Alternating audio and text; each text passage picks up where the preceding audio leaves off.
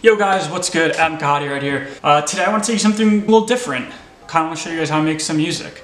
But yeah, in case you guys have any questions, feel free to always hit me up. I'm always available, DM, Twitter, whatever you want. Text me, call me, email me. I'll help you guys out. I want to go through like my gear. Everyone always asks me like what I'm using to produce, like what plugins, what, what, what software, etc. So I want to run through all that stuff. Super fun, but you gotta do it. There is no right or wrong way to make music, so if you guys hate this, just let me know. It's all fine. But if you guys love it, throw me a like, subscribe, that'd be awesome. Let's jump right into the video and I'll show you what I'm working with here. So you guys saw I did open my MacBook Pro from 2015. This thing's a beast. Hopefully doesn't die on me, knock on wood. But it is an awesome computer. And I am running Ableton Live 10. I just upgraded to this one. It's pretty cool.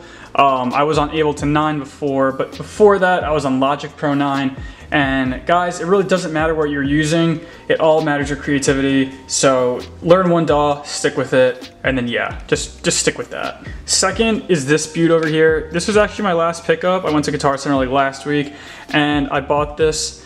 It is the Apollo Twin X. Um, it's an audio interface. It did put a nice dent in my wallet, but look how nice it is and it has all the gadgets and gizmos, but I'm not gonna really get into that because this isn't a product review, but this is awesome. I used to have this old Scarlett Focusrite right right over there. Wasn't great, upgraded, got this guy, and yeah. Moving on to MIDI. This is my MIDI keyboard. It's a Keystation 49 from M Audio. You know, it, it's great, it gets the job done. Nothing too crazy I need. I'm a virtual piano player, so I got this piano right over here, Yamaha Arius.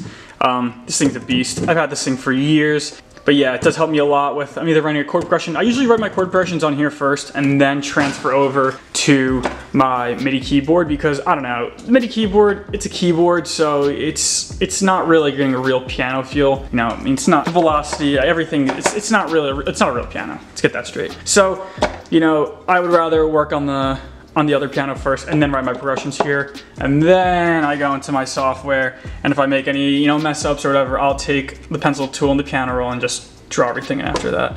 All right guys, so now that we dove through all my gear and everything, um, you see it's nothing too crazy, but now I actually want to go into a project and show you how simple it really is. Music is so, there's no one right way, there's no wrong way, so whatever you want to do is right. This is the way I produce. You guys can hate it, you guys can love it, but it's the way I usually work. So I'm gonna show you what I'm doing here. I actually, I was I was really bored a couple days ago, so I just downloaded um, Post Malone, Congratulations Acapella off, uh, off some website, I don't know. And then since I said I'm a piano player, so I start always on the progressions. This is how the acapella sounds.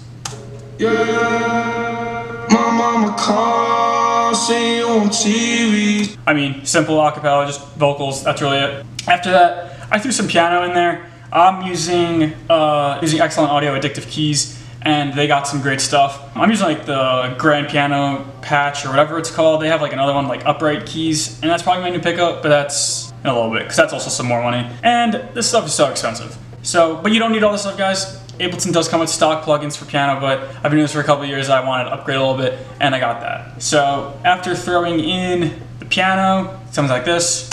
Yeah, my mama calls, see you on TV, shit done simple progression. It's uh, the song's in F sharp major, F sharp major. I really don't know music theory whatsoever. I just do everything by my ears. Um, but I know the progression goes like uh, ooh, where's my piano?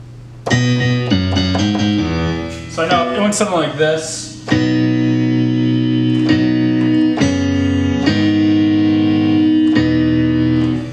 That's really it. Super simple progression. After that, I always like to add like atmosphere effects and everything because it really fills up the the body of the of the track. So I added a pad right here.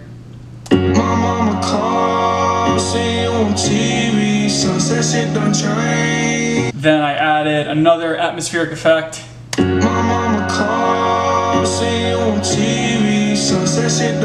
And that's really it in terms of like the melodic aspects of it. There really wasn't that much. Everything else at the end of the day, it's really just like drums, bass, percussion, and like small ear candy tricks that, that, that are super simple to put in. I mean, you just have to get creative with it, you know, go wherever you get your samples. I get my stuff from Splice, like a lot of producers do.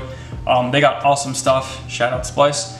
And super cheap, I think it's like $8 a month, and you get millions and millions of samples. So I highly recommend that. Great stuff over there. That's where all my samples are from. after that, I mean, I just threw in some kicks, some claps, some tambourines, uh, some small percussion stuff, and then really you get this.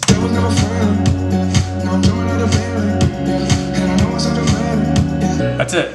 There's not any other stuff really in there. And for the drop, the drop is where you gotta get a little more creative. So I love, love, love, love vocal chops. I've loved that stuff for like four years now or whenever it really started coming out. So what I did was I took Post Malone's voice and I just chopped it up a bunch, filtered that in. So when the drop hits, you know, it's not so new to the listener, but it's, but it's like kind of a new element. Let me show you what it sounds like first.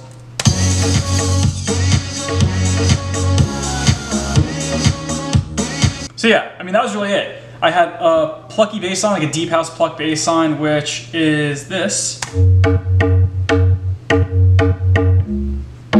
Had that. Then I had like another sub grit bass line, heavily distorted, overdrive, EQ'd, compressed, everything. And I threw a bit crusher on that because bit crusher's dope.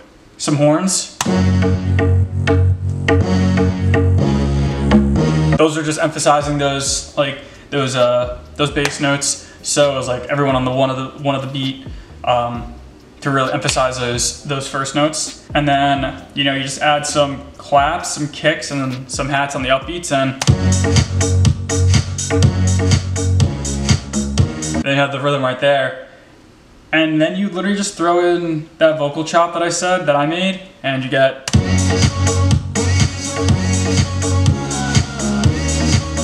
And that's it. That's really it. It's that easy. I mean, it's it's not easy to come up with in the first place, but that's how simple it is. It was literally just like five things. Well, like more than five. But you get the point. It was pretty simple. I'm trying to think. Do I have anything else? I mean, not really. I mean, there's just some like claps, some some sweeps, some crashes, all that fun stuff. I mean, that's really it. Yeah, that's really it. So there's not that much more I want to talk about today because that's my day. I'll sit here for like seven hours and just throw stuff at the wall and see what sticks. And it happened, this one stuck pretty well. I liked it. I'm probably gonna release it. If you guys like this video, throw me a thumbs up, subscribe, comment below if you guys want anything else. Like I said, hit me if you guys got questions. More than happy to help. Peace out. See you soon.